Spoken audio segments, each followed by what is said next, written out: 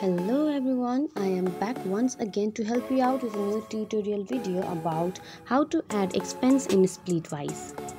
If you are watching us for the first time, make sure to subscribe our channel and press the bell icon for new informative videos. So, without any further ado, let's get started. First of all, you have to open the application.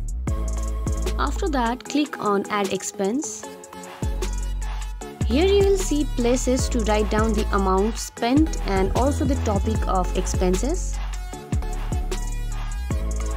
Down there you will see an option paid by and split. There you can adjust who paid and also the way you want to split the amount. You can adjust that according to your wish.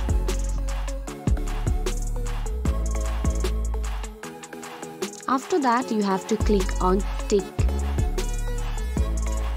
So this is how you add expense in Splitwise. Hope this video was helpful. Don't forget to give us a big thumbs up. Also don't forget to subscribe to our channel to catch us up in our next video. See you there. Bye bye.